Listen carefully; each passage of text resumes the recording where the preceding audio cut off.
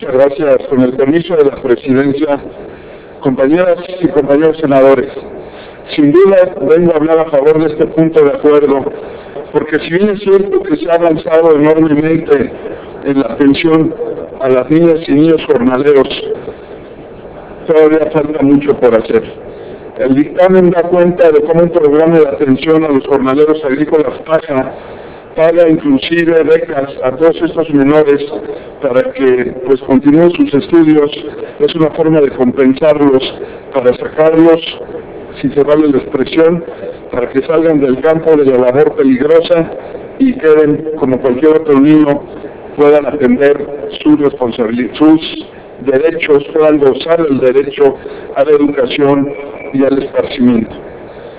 El dictamen nos menciona que para este año serán más de 600 mil los menores que contarán con un apoyo y bueno pues esto es de reconocerse, esto es de aplaudirse. Sin embargo, todavía falta mucho por hacer y es por ello que con gusto nos sumamos a este punto de acuerdo para que tanto la Secretaría de Trabajo como la Comisión Nacional de los Derechos Humanos brindan un informe pormenorizado de esta, en este tema.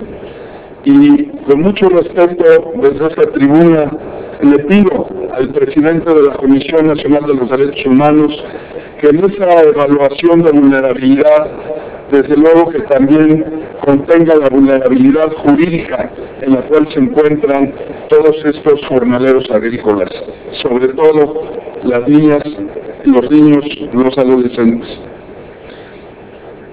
Y es también un momento propicio para exhortar de manera muy respetuosa al Congreso de la Unión y de manera muy particular al llamado diputado 501 a que ya no secuestre la reforma laboral que tanta falta hace en nuestro país y sobre todo la reforma laboral en materia de atención a los grupos vulnerables. Es muy lamentable que por la cobardía o la falta de argumentos para debatir el tema sindical tampoco le entren al tema de atender a los grupos vulnerables.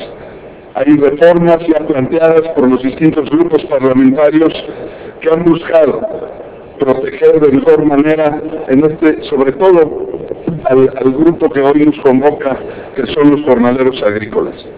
Hemos ya puesto pues la propuesta, está en la mesa y los invito a que la debatamos. Por su atención, muchas gracias. Senador.